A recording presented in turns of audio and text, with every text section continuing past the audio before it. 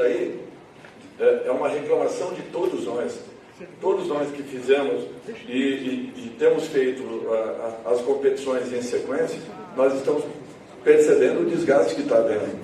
A hora que acabou o jogo na quarta-feira, era nítido é, é, a entrega que, que, que, nós tivemos das duas equipes, Atlético e Flamengo, e todos perceberam como os jogadores finalizaram a partida.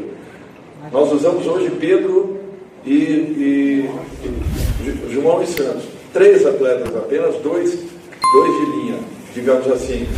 E os dois não conseguiram suportar a partida. Imagina se nós tivéssemos os 11 nessa mesma situação.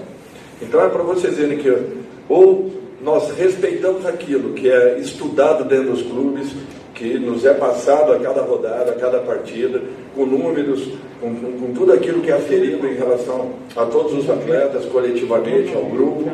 Ou nós respeitamos tudo isso, ou ignoramos, jogamos tudo por baixo da, da, da, da mesa, do tapete, e, e colocamos aquilo que, que, esteja na nossa cabeça, imaginando que é, aquela equipe será sempre a melhor condição possível.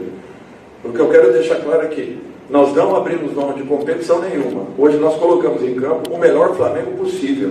As pessoas podem às vezes não entender, mas não tem como você é, é, é, ter que atuar da maneira como tem acontecido, dois, dois dias e meio depois de estarmos em campo, porque esses jogadores, quando finalizamos a partida, eles foram dormir 4, 5, 6 horas da manhã. A entrega foi muito grande. Nós tivemos aqui pessoas da comissão técnica que não conseguiram dormir, adrenalina da partida, então o desgaste é excessivo. E isso também aconteceu com o Atlético, que joga amanhã, não hoje como nós jogamos.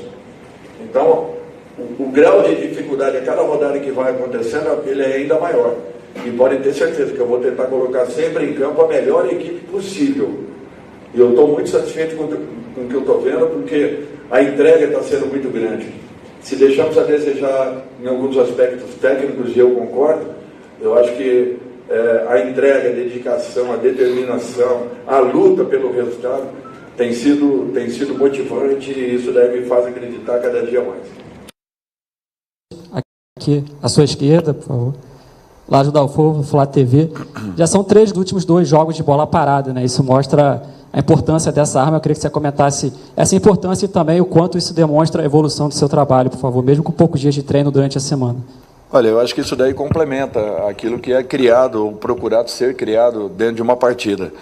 É, a bola parada é uma arma, nós temos que usá-lo da melhor forma. Temos jogadores que, que, que têm uma ótima definição e, felizmente, pela sequência, pela repetição, pelo número de bolas em, em treinamentos, eu acho que isso daí tem acontecido de uma maneira mais natural e eu espero que não paremos por aí, que melhoremos a cada momento, que incentivemos, que voltemos a ter é, é, nas repetições, de repente, as soluções que estamos encontrando nas partidas. Eu acho que isso daí é um detalhe que tem que ser cada dia mais e mais explorado. Boa noite, Dorival, tudo bem? Aqui, Cidão Marinho da Litoral News. Desde 2020, o Flamengo vem sofrendo bastante com o sistema defensivo, mas com a sua chegada, parece que existe uma solidez. Qualquer dupla que entre dá conta do recado. Hoje, mais uma vez, você botou jogadores que talvez não venham jogando tanto, Gustavo e o Pablo, e eles foram bem. Queria que você falasse um pouco sobre esse trabalho que você fez com os zagueiros, tem muitos zagueiros no elenco, para dar essa solidez defensiva. Olha, eu acho que é, jogadores que estão dentro do elenco do Flamengo, eles não podem ser serem considerados reservas ou titulares. São todos do mesmo nível, são todos jogadores de, de, de, de, uma ótima condição. A grande maioria deles eu já tive o prazer de trabalhar e, e os conheço. É, quando eu cheguei, é, me entristecia ver a situação de cada um e alguns sendo questionados. E eu pedi que eles acelerassem trabalhos, melhorassem processos, é, se dedicassem, porque seriam seriam aproveitados a todo momento. E é o que tem acontecido, eu não vou mudar isso. Eu, eu confio muito no grupo que eu tenho, eu confio muito nos jogadores que ali estão. É, não desisto de jogador nenhum. Inclusive, o que aconteceu hoje com o Vitinho é lamentável, porque o que ele tem trabalhado, o que tem se dedicado, e em algum momento ele vai encontrar a sua melhor condição, e eu torço para que isso aconteça.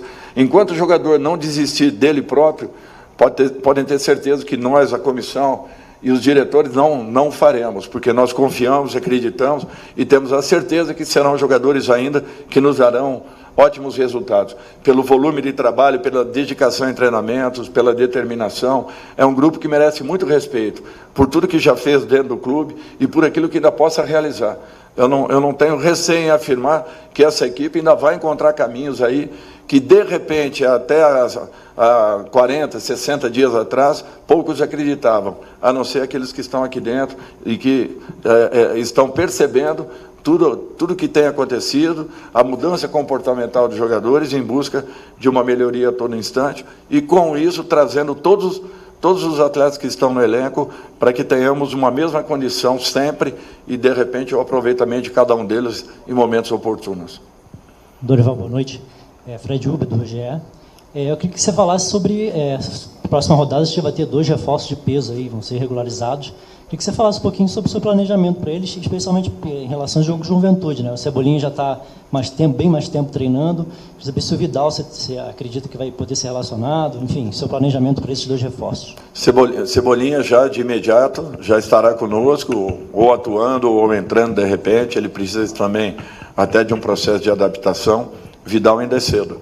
É muito cedo, não vamos criar uma expectativa uh, antecipada, vamos dar tempo a que ele também se condicione, que ele conheça todos os processos, para que aí sim nós o tenhamos em condições. Nós temos que ter calma com ele e, e, e, e, acima de tudo, respeitarmos tudo aquilo que for determinado pelo departamento físico eh, e, científico do clube. Boa noite, Dorival. Michael Nunes, do Distrito do Esporte. Dorival, aqui em Brasília, a torcida tem uma característica diferente. O Vitinho, assim que entrou no, em campo, na primeira bola dele já foi vaiado, e depois ele naquele passe do Marinho, ele também que veio perder aquele gol. É, como que você vem trabalhando é, no dia a dia, dentro de campo e nos treinamentos, para o psicólogo do jogador não ficar tão abalado, né? Porque foi lamentável o que aconteceu hoje. Olha, eu acredito muito no trabalho, na repetição, na, na dedicação. E, e o que o Vitinho tem feito em treinamentos, em algum momento ele vai virar essa chave, podem ter certeza. E eu vou continuar acreditando que eh, ele encontra esse caminho. Enquanto o jogador não desistir dele próprio, ele vai ter o apoio de todos nós. E com o Vitinho não será diferente. Podem ter certeza que em algum momento ele vai ser muito importante e decisivo para todos nós. Às vezes as pessoas não acreditam, elas desistem muito fácil da, da, de um semelhante.